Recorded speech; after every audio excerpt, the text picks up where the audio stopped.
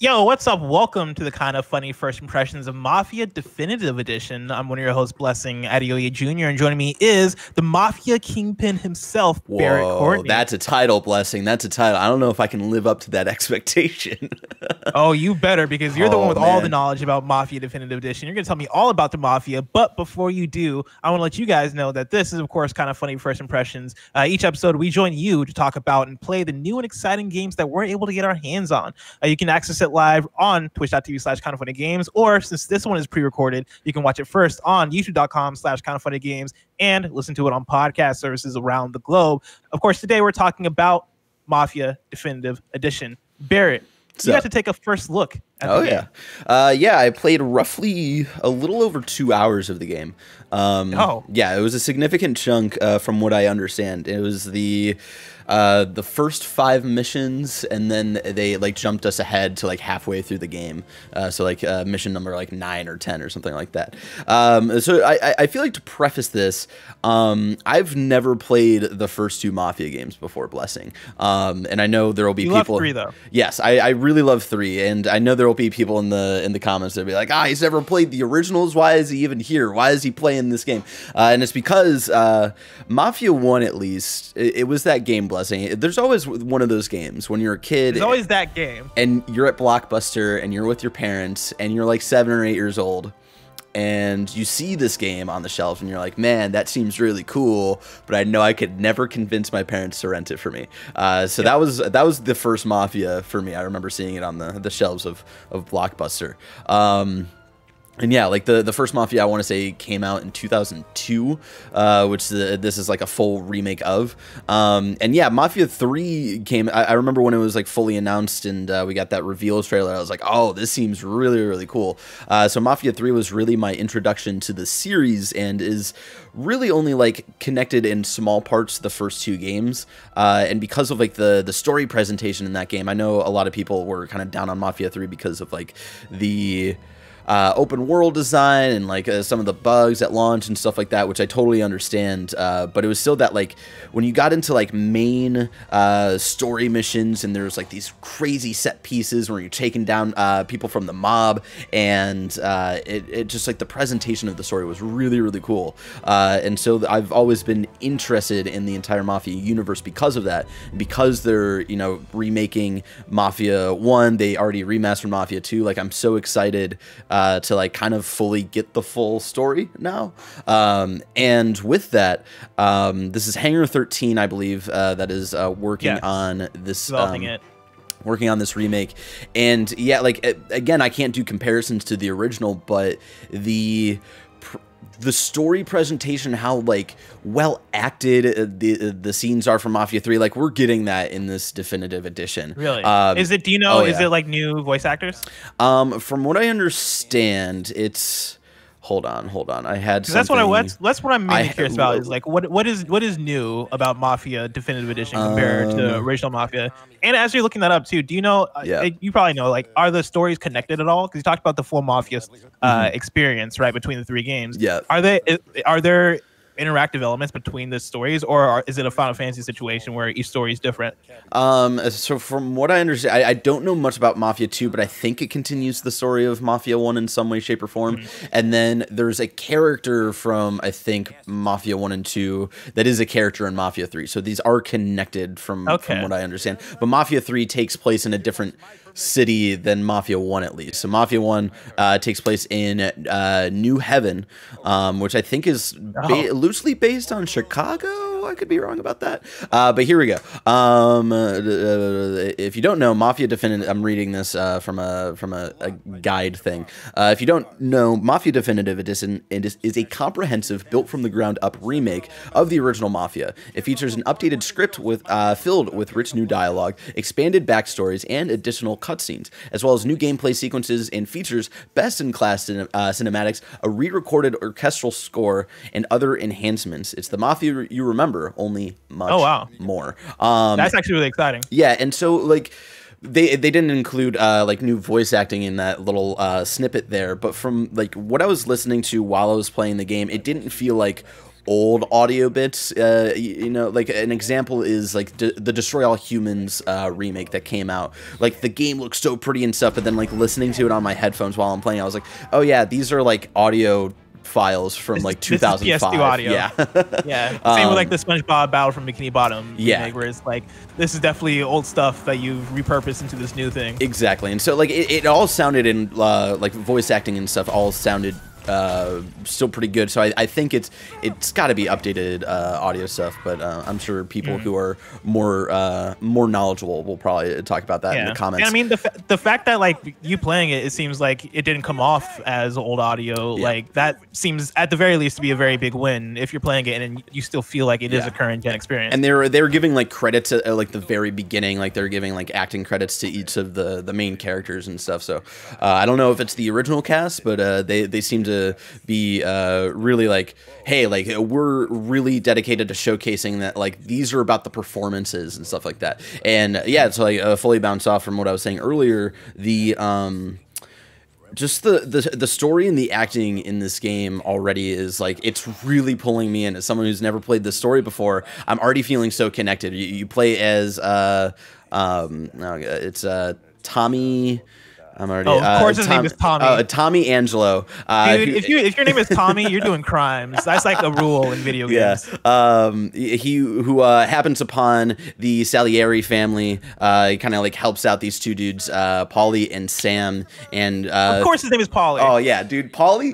But they, these two are like the homies, and Paulie is like the Hmm. obnoxious one who's like this is in, in the time of like prohibition, right? Blessing, and like Oh, uh, so they're like secretly like dealing alcohol and stuff like that, and Paulie's just totally uh, getting drunk every uh, every once in a while, and it's really fun. Um, but like being introduced to these characters and like uh, the the family that you get uh, kind of inducted into as Tommy, I was fully in, and I I, I love uh, what they're doing and uh, the story that they're setting up. That I imagine is being even more sold by the. Um, being built from the ground up, these beautiful cutscenes, uh, and I'm so interested to see where this story goes and like how how they build themselves uh, selves up as like the one um, kind of controlling crime family of uh, New Heaven because it, as it starts out like the the very beginning of the game the Salieri family is a little more of the on the small side. They they've got like a main competitor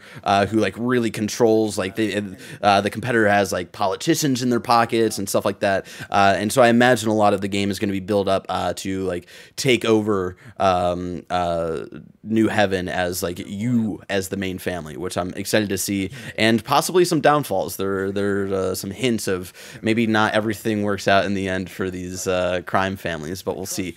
Um, and so yeah, like the game is beautiful uh, in cutscenes and also in gameplay, like driving around the, the city and just like seeing all the details.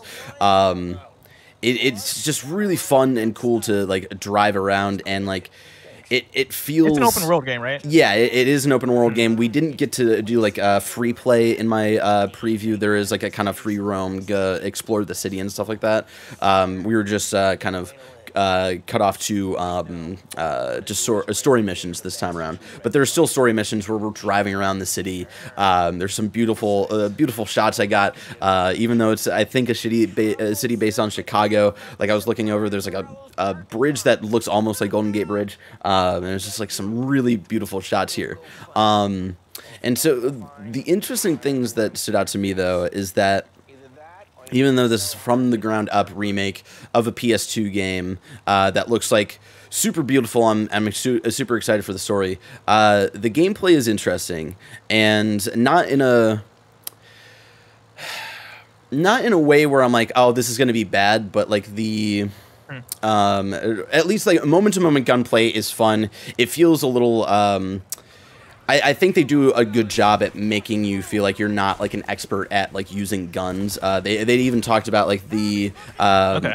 the character that you play as in Mafia Three is a vet and uh, like a, a veteran and um, is taking over like killing all these uh, mafia people and is an expert at guns and it feels good to play as him and stuff like that. Whereas I think they were like talking about like hey, like Tommy isn't that. Tommy like isn't an expert, like a weapons expert and stuff. So he feels a little more rough around the edges to play as when it comes to shooting and stuff. And I think that kind of lends itself to like how difficult like some uh, encounters with like the police or uh, like uh, other enemies can be.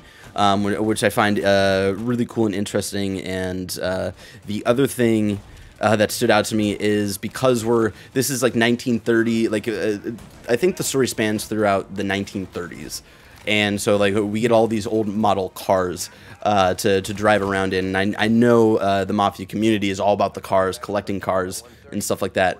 And yeah it's it's interesting to always play a, a game that's um, has older model cars because i can't explain it but there's something to feel about it where it's like this doesn't feel exactly like a, a, a, of course it doesn't feel like a modern driving around in a modern car. And so you have to like get used to like how cars turn like especially with like how fast you're going. Like eh, have you ever played LA Noire? This is like the the best no, like okay okay. not. um LA Noire was very similar with like uh like getting used to like the idea of like how just like the cars, handling of how an, yeah, an older car would handle. um and it like it and it's not not a dislike uh, for me. Like I liked that I had to get used to it, and like it felt even better when I got used to it. And like, all right, all right. Does like, it feel I, slower then? It, it, it, does feel a little slower. It feels like a little more like turning feels like way uh, more of a challenge, especially like when you're going yeah. to certain speeds. But it feels so good when uh, you actually like pull off and like cut through different cars. Like uh, there, there's a uh, story mission where I got to drive around in a race car, and it was uh, super fun. But I was really bad at handling it at first, just because it was way faster than anything I had driven before. Um, uh, but it, but again, it was so satisfying to to be able to like kind of get used to it and like okay i gotta i gotta do a turn up here so maybe let's like let's just slow down a little bit so i can pull off mm-hmm. the turn and not hit anything and it was it was really fun um, the main thing that stood out to me of like this is interesting because this is mm-hmm. again a built from the ground up remake um, on current gen systems uh, and, and stuff like that is that the one thing that stands out to me with people walking around is the animations Okay. The animations feel very PS2. Um, okay. Which is, that was, well, that was gonna be my next question. Is what yeah. about this? Does anything about this game feel PS2 ish? Yes. And yeah, how do the animations feel PS2? It, and it, I think it's unfair because like right now i am doing a another playthrough of The Last of Us Part Two right now, where the animation, the amount of animation, the animation is, is the best animation. It's ever, fucking ridiculous. So I think it's mm-hmm. kind of unfair in like the back of my mind where I have that more recently in my head jumping into this. Um, but it, even so, it does feel kind of like stiff and like the the way like uh, you run around as Tommy sometimes just feels kind of off. But it, again, I think it's like um, I don't know if that was like a, a decision that they like were like we wanted to kind of still have that PS2 feel in a way for the hardcore mafia group um, mm. who who loves the the first game.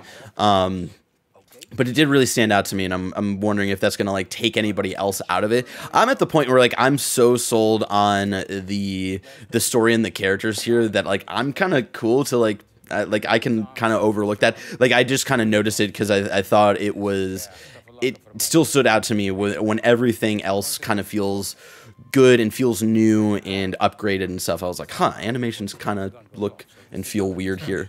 Um but uh, I, I forget what, else. Uh, so com- coming off of uh, you playing and loving Mafia 3 mm-hmm.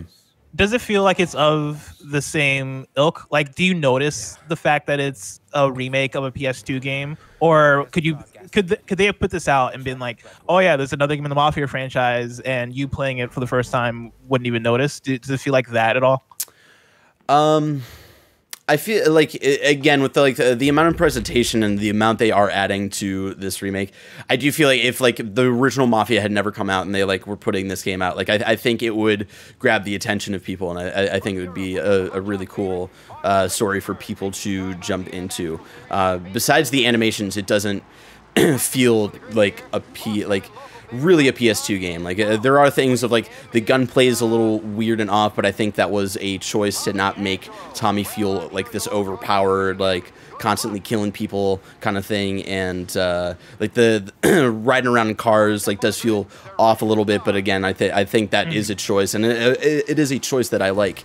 Um, uh, that you have to get used to and like think about the almost the physics about the physics of uh, how to like uh, handle cars uh, back then yeah. Uh, like at fast speed and, and turning and weaving in and out of uh, traffic and stuff like that um, And something that I thought was interesting, one of the uh, missions that I jumped into. Sorry, I'm just like I have so much information man. from this. Again, it was like it was a little over like two hours, so it was just like a lot of, of processing that I'm still doing. So um, one of the missions was inter- like uh, I'm on like a mission with Paulie and Sam. Seems like it's going to be a routine thing, and I think like uh, Paulie comes out and he's got he's been shot, and then like Sam's inside, and you have you have to like we, we got to make sure we're, we don't leave without Sam. Um, and so.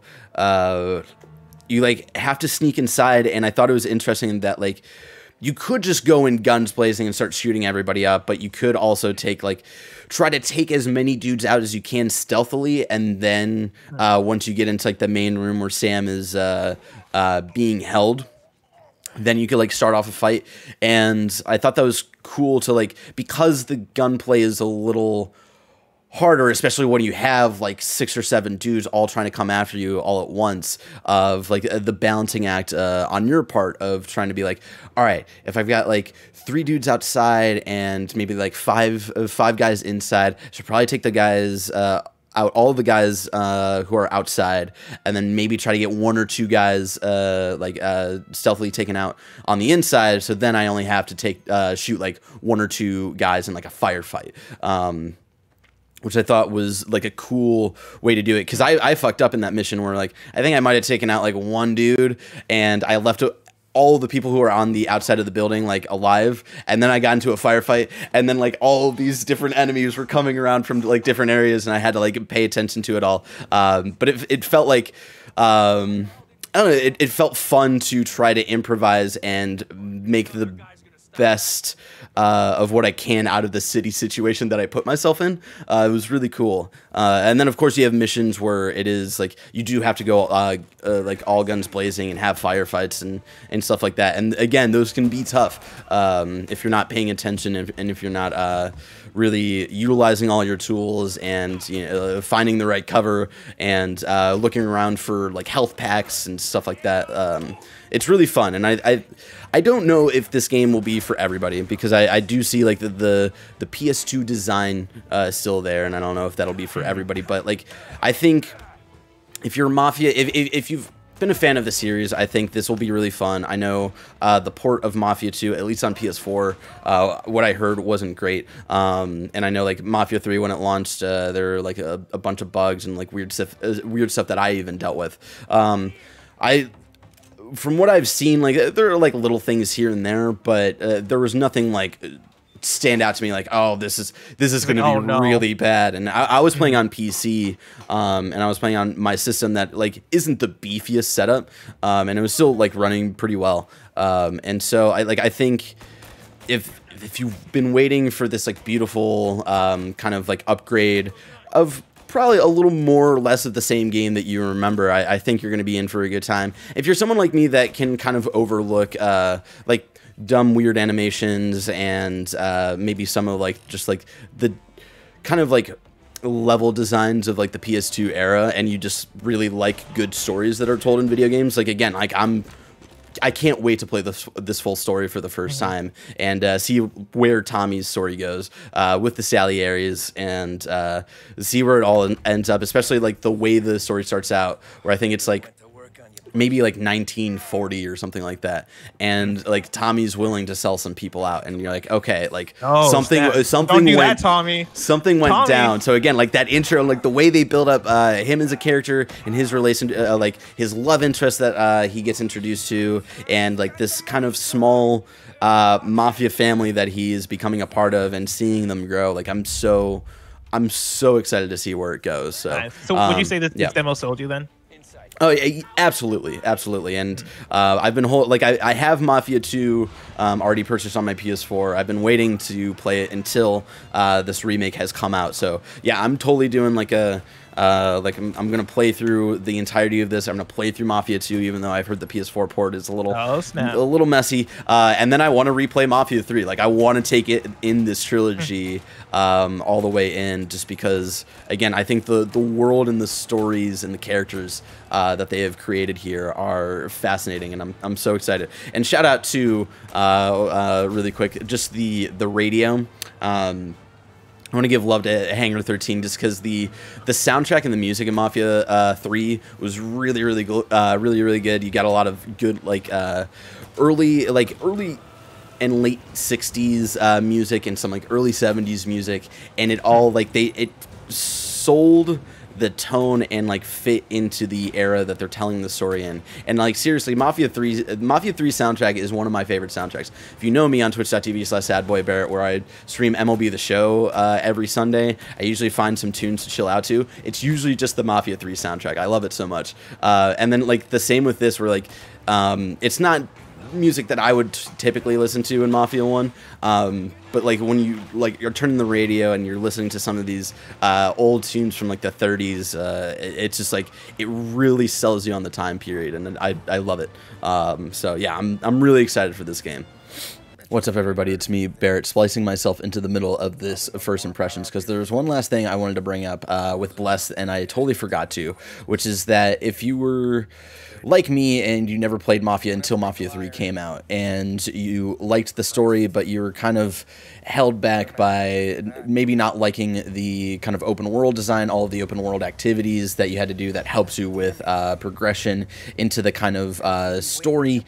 I, I think it'd be worth picking up Mafia One because I, I, from what I understand, the presentation is way more linear. There's not um, any anything major that you have to do with like uh, taking down enemy camps and like the open world outside of the story missions and stuff like that. So uh, again, like I've been saying this entire episode, um, it's the the story and the presentation and the the cinematic feel, uh, especially uh, for this game, I think is absolutely great. And again, I can't wait to play it uh, when it comes out next month. Oh, and one more thing, I know some of you hardcore Mafia fans out there. I, I did mention, I did give you a shout out for liking the collectibles of cars, but there are other collectibles in the game that I did pick up, and I was really impressed about how detailed they were. A couple like comics that I picked up, and uh, like a, a, trading card that I think I picked up at some point. Really, really cool, really detailed work uh, that I thought was really special and really unique. And I think Mafia fans, uh, long-standing fans of the series, are really going to dig. I don't know if they're updated from the original of like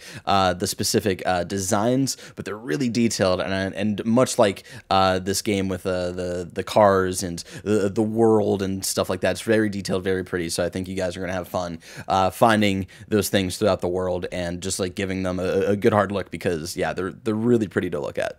Awesome. Uh, Mafia Definitive Edition is, of course, coming out September 25th, 2020. And so only about a month away as of the time you're watching slash listening to this, which is exciting. Uh, ladies and gentlemen, let us know what you think about Mafia Definitive Edition. Are you excited? Go ahead and leave a comment.